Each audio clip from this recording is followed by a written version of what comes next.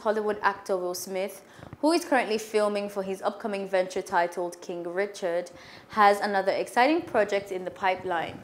The Men in Black actor is all set to host and star in his first ever comedy variety special on Netflix.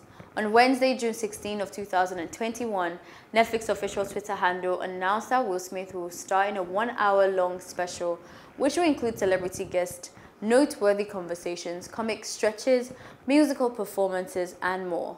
While Will Smith's Westbrook Studios is producing the one-hour special and the actor will serve as an executive producer alongside co-head of Westbrook Studio Terence Carter, Miguel Melendez, and Sahara Bashir.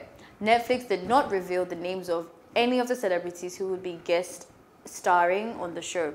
The Will Smith variety comedy special is set to debut on Netflix sometime in late 2021. Hello, hope you enjoyed the news. Please do subscribe to our YouTube channel and don't forget to hit the notification button so you get notified about fresh news updates.